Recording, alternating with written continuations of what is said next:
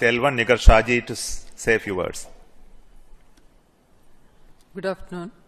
It's a dream come true for uh, Team Aditya L1, and I'm extremely happy that Aditya L1 is um, injected into the intended orbit flawlessly by PSLV as always.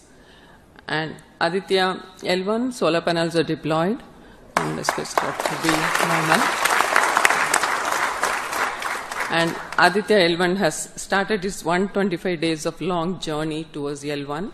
We have uh, our Earth burns to rise the orbit, and that and followed by the trans L1 injection, and finally insertion into the halo orbit in the Sun Earth point L1. Once the Aditya is commissioned, it will be an asset to the heliophysics of the country and even to the global scientific fraternity. And I take this opportunity to thank Chairman ISRO, uh, Director URSC, former Director URSC, and all the center directors for their support and guidance for making this mission possible.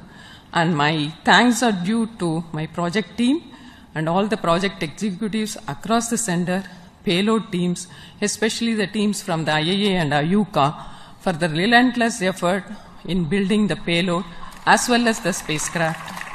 And my special, my special thanks to the expert committee who have been guiding all through the entire project life cycle. And I thank all the industrial partners and the entire URSC team for uh, their invaluable contribution. And I feel really honored and privileged to be part of this mission.